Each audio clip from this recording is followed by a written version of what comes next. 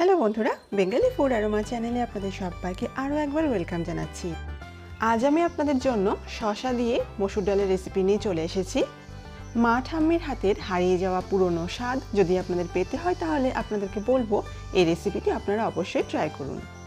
তাহলে চলুন বন্ধুরা, দেখে নিই ঝটপট রেসিপিটি। কড়াইতে জল হালকা গরম করে নিয়েছি। আর এতে দিয়ে দিচ্ছি ধুয়ে রাখা মসুর ডাল। আর এর সাথে এতে অ্যাড করে দিচ্ছি একটা চেরা কাঁচা লঙ্কা, অল্প একটু পেঁয়াজ কুচি আর এক চা চামচ মতো সর্ষের তেল। এখন এর মধ্যে কিন্তু নুন, হলুদ কিছুই অ্যাড করিনি।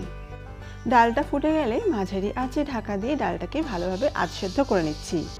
ডালটা যখন আধ সেদ্ধ হয়ে যাবে, তখন এর মধ্যে দিয়ে দেব কুচিয়ে রাখা শশা এতে এবারে দিয়ে দিচ্ছি অল্প পরিমাণে হলুদ গুঁড়ো। তারপর আবারও ঢাকা দিয়ে এটাকে শশা সেদ্ধ হয়ে যাওয়া অবধি ওয়েট করব। এখন ডাল শশা খুব ভালোভাবে সেদ্ধ হয়ে গেছে। এটাকে হালকাভাবে একটু নাড়াচাড়া করে দিচ্ছি। আর এতে দিয়ে দিচ্ছি পরিমাণ মতো নুন। আপনাদের কাছে ডাল ঘুটনি থাকলে আপনারা ডাল ঘুটনি দিয়েই ডালটা ভালোভাবে ঘুটে নেবেন। আমি এরম একটা হাতার সাহায্যে ডালটাকে ভালোভাবে ঘুটে নিচ্ছি। আর এর মধ্যে দিয়ে দিচ্ছি পরিমাণ মতো গরম জল। বন্ধুরা, এই ডালটা কিন্তু পাতলা হবে না। এটা একটু ঘন হলে এর টেস্টটা ভালো আসবে। কড়াইতে পরিমাণ মতো সর্ষের তেল গরম করে নিচ্ছি। আর এতে দিয়ে দিচ্ছি শুকনো লঙ্কা আর কুচিয়ে রাখা রসুনের ফোড়ন। দিয়ে এটাকে একদম কম আঁচে ভালোভাবে ভেজে নিচ্ছি।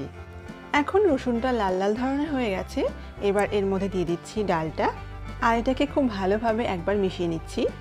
এবারে বন্ধুরা শশা দিয়ে মসুর ডাল খাওয়ার জন্য একদম রেডি হয়ে গেছে। আমার আজকের এই সহজ রান্নাটা যদি আপনাদের ভালো লেগে থাকে, তাহলে ভিডিওটিকে লাইক শেয়ার কমেন্ট করতে একদম ভুলবেন না। আর যেসব বন্ধুরা চ্যানেলটিকে এখনও সাবস্ক্রাইব করেনি, তারা অবশ্যই চ্যানেলটিকে সাবস্ক্রাইব করুন।